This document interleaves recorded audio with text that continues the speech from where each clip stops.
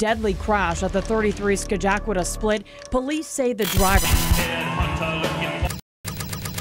A Rome family believes a 10 year old boy is dead because of a dangerous trend. alright TikTok 2023မှာလုံးဝကို strong ဖြစ်လာမဲ့ social media ဆိုတာအားလုံးသိပြီးသားပဲဆိုတော့အကောင်းကြီးဆိုပြီးတော့ရှိတာပေါ့ထူးခြားတာ even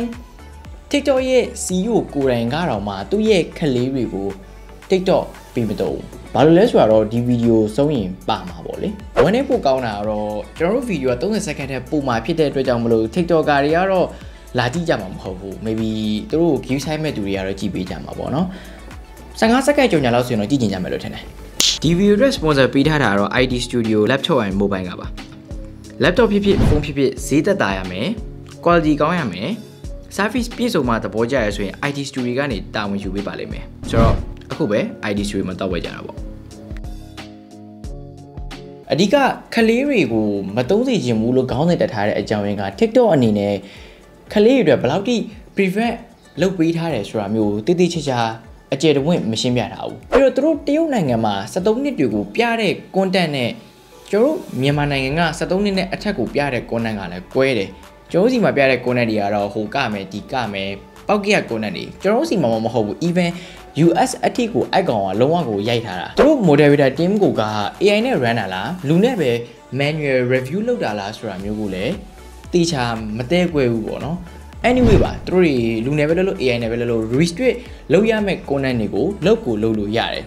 ဥမာတခုခုနည်းနည်းလေးမှားမယ်လို့ထင်တာနဲ့သူတို့ဘက်ကတန်းပြီးတော့ user အတွက်ကို hype ပေးတာမျိုးပေါ့ဒါမဲ့သူတို့မလုပ်ဘူးဘာလို့လဲဆိုတော့နိုင်ငံတနိုင်ငံရဲ့ human resource ကိုဒီနည်းနဲ့ပဲ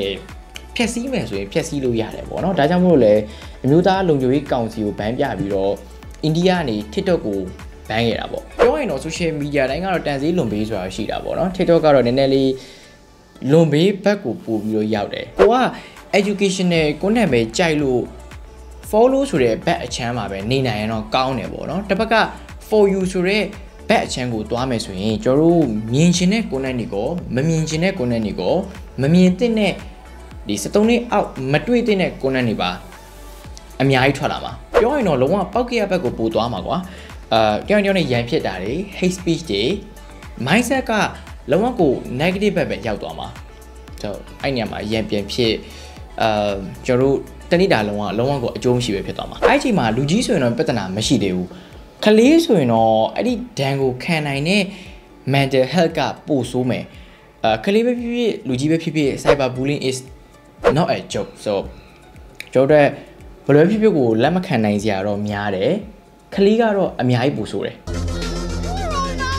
တချို့နိုင်ငံတွေမှာအဲ့လိုမျိုးကလေးတွေကို73နှစ်အောက်ဆိုရင်လုံးဝ TikTok ကိုတုံးခွင့်မပြုတ်ဘူးပေါ့နော်တချို့နိုင်ငံတွေကြတော့73နှစ်အောက်ကိုမှမှသူတို့ရဲ့ဒီအကန့်အသတ်လေးနဲ့တုံးခွင့်ပေးတာပေါ့နော်ဘယ်ဗီဒီယိုလေးပြမယ်သူတို့ကတော့ educational content လေးပြပြီးပြောတာပေါ့နော် ဒါပေမဲ့အဲ့လိုမျိုးပြတာကိုမယုံလို့တောင်မှသူတို့ရဲ့ team ကိုသူတို့ဘက်ကသူတို့တန်တရားဖြစ်လို့တောင်မှ TikTok ရဲ့ CEO ကိုယ်တိုင်ကကိုသူ့ရဲ့ကလေးတွေကို TikTok ပေးမတုံးခိုင်းတာဒါပေမဲ့ကျွန်တော်တို့မြန်မာနိုင်ငံမှာကျတော့အကုန်လုံးကအဲဘက်ဒေးတွေပြောင်းပြီးတော့လွဲပြီးတော့တုံးကြတာပေါ့နော် ID နဲ့ပဲလမ်းမရောက်ဖို့ကပို့ပြီးတော့များတယ်ဒီဘက်နိုင်ငံမှာ PG13 ကခစ်စားပြီမဲ့လို့ကျွန်တော်တို့မြန်မာနိုင်ငံမှာ PG13 အရန်မခစ်စားရတဲ့အတွက်ကြောင့်မို့ကလေးတွေရဲ့ဖုန်းတွေကိုကိုကတွားပြီးတော့ ဘယ်လိုပြောမလဲ restrict လုပ်ထားလိုက်တာပို့ပြီးတော့တေချတယ်လုံးမယ်ဆိုရင်တော့ TikTok ရဲ့ setting ထဲက content preference တွေကိုဝင်ရမယ်ပေါ့နော်ပြီးတော့အဲ့ဒီထဲကမှ restrict mode ရွာလေးကိုတွားပြီးတော့ turn on လုပ်ရမှာအဲ့ချိန်မှာကိုယ့်ရဲ့ password လေးလည်းတစ်ခါတည်းဖြည့်ထားပေါ့နော်ဒါဆိုရင်တော့ကိုယ့်ရဲ့ကလေးအတွက်ကို sensitive content ကမလာနိုင်ဘူးတော့မဟုတ်ဘူးဒါပေမဲ့10ခုမှာတစ်ခုပဲလာလိမ့်မယ်အဲ့ထက်မှနည်းနည်းလေး advanced level ရောက်သွားတဲ့မိဘကြတော့အာ ကလေးတွေကိုတခုခုသုံးမယ်ဆိုရင်အချိန်အတိုင်းအတာလေးနဲ့သုံးခိုင်းတာပေါ့နော်ဆိုတော့အဲ့လိုမျိုးမိဘရဲဆိုရင်လည်း TikTok ရဲ့ screen time ကိုကျွန်တော်တို့ကသူ့ရဲ့ setting ထဲမှာပဲတွားပြီးတော့ကန့်သက်လို့ရတယ်ဘယ်နှမိနစ်ပြီးပြီဆိုတာနဲ့ခဏ break ခိုင်းမယ်ပေါ့နောက်တစ်ချက်တတိထားမှာကိုယ့်ရဲ့ TikTok ကိုစစဖုံးဝင်ခြင်းမှာသူလာပြီးတော့ပြတဲ့ okay တွေအလောက်တွေတန်းပြီးတော့မနှိပ်ဖို့လိုလိမ့်မယ်ခါလေကြာရင်လည်း၃နာကြာတော့မှထပ်ပြီးတော့မေးတိုင်းမရှိတယ်ဆိုတော့ don't allow လုံးဝကိုခွင့်မပြုနဲ့ပေါ့နော်ကိုယ့်ရဲ့ content တွေကိုယ့်ရဲ့ဒီ မွေးနေ့တွေအကုန်လုံးကိုတန်းပြီးတော့တည်သွားမှာအကယ်၍ကိုကမွေးနေ့ကိုလိန်ပြီးတော့ဖွင့်ထားတယ်ဆိုရင်တော့မှကင်မရာအတွက်ကို permission ပေးပြီးသားဖြစ်ခဲ့တယ်ဆိုရင်ကင်မရာလေးဖွင့်လိုက်တာနဲ့ကျွန်တော်တို့ရဲ့ဒီရုပ်ကိုကြည့်ပြီးတော့သူတို့ကအသက်အရွယ်ကိုတစ်ခါတည်းခံမှန်းလို့ရနေတာပေါ့နော်ဆိုတော့ကိုယ့်ရဲ့အသက်လည်းပါမယ်ကိုယ်နဲ့လည်းပါမယ် email address အကုန်လုံးပါပြီဆိုရင်သူတို့အနေနဲ့နိုင်ငံတနိုင်ငံရဲ့လူဦးရေထားပါတော့ကြာဘယ်နေအောင်မှဘယ်နေအောင်သူတို့ရဲ့ ဒီ TikTok ကိုတုံးနေရယ်ခလေးတွေကဘယ်နေအောင်တုံးနေတယ်အဲ့လူတွေကိုဘာကွန်းနဲ့ပြမယ်ဘယ်လိုမျိုးလုပ်မယ်ဆိုတဲ့အနေအထားတွေကအကုန်လုံးလွယ်ကူသွားမှာပေါ့ဘယ် social media ပဲဖြစ်ဖြစ် algorithm တွေကရှိကိုရှိတယ်တယ်ပေါ့နော်ဘောလုံးမွေးချက်တဲ့သူကလုံးဝဘောလုံးမွေးပဲပြပြီးမှာ even YouTube တော့မှဘောလုံးမွေးတပွဲစပြီးတော့ကြည့်ကြည့်ကိုကဘာကောင်းမှမဖွင့်မနေစပြီးကြည့်တယ်ဆိုရင်တော့မှတိုင်းပြီးတော့နောက်ခါတွေကဘောလုံးမွေးတွေကြီးပဲပြောရင် TikTok ကတော့အဆိုးဆုံးပဲဗျာသူတို့ကဒီဗီဒီယိုကြီးပဲပြတာဖြစ်တဲ့အတွက်ကြောင့်မလို့ဘယ်လိုအချိန်မှာဘယ်လိုမျိုးသူ့ရဲ့ application ကို addicted ဖြစ်အောင်လုပ်အောင်မလဲဆိုတာသိရ that's pretty scary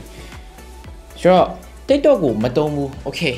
ငါတို့အနေနဲ့ဘာသုံးရမလဲလို့မေးလာမယ်ဆိုရင်တော့လေကျွန်တော်မှဖြေစရာဘာမှမရှိပါဘူး။ဘာလို့လဲဆိုတော့ social media တွေအကုန်လုံးကအစားပြောခဲ့တဲ့အတိုင်းမှာအကောင့်နဲ့အစိုးရဒွန်တွဲနေရင်အာကျွန်တော်တို့ကကတ်သက်တင်တာလေးတွေကတ်သက်မှတော့ရလိမ့်မယ်။လူကြီးတွေကတော့ခုနကပြောတဲ့အတိုင်းပဲအရန်ကြီးပြဿနာမရှိဘူး။တို့ကဝေဖန်ပိုင်းခြားတတ်သေးရဲ့ false news လား fake news လားဆိုခလေးတွေကတော့ကျွန်တော်ပြောသလို73နှစ်အောက်ဆိုရင် restrict လုပ်ထားတာကပို့ပြီးတော့သိကြပါတယ်။လို့ပြောရင်လည်းပဲကျွန်တော်ကဂျွန်ဖြစ်ပါတယ်။အားလုံးပဲ host ပါ။